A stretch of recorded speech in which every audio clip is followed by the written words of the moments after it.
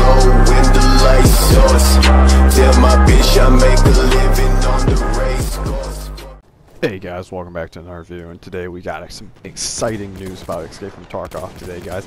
Today, the developers of Bat from Battlestate Games went to the Molot Ordnance Factory today to test out the weapons that will be in the game, guys. That is so exciting.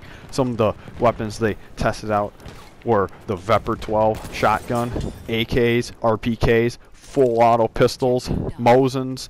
Just, they tried out all kinds of guns, including some semi-auto and pump-action shotguns, which are featured in their videos, and just a whole variety assortments of guns and calibers. It is really cool. So then, while they were there, they got to like record the sounds and the mechanics of the gun, and then after they were done shooting them, they actually took them apart and were able to know how all the guns work so that they'll be able to implement that in the game so that you can break it down and customize it how you want in the game.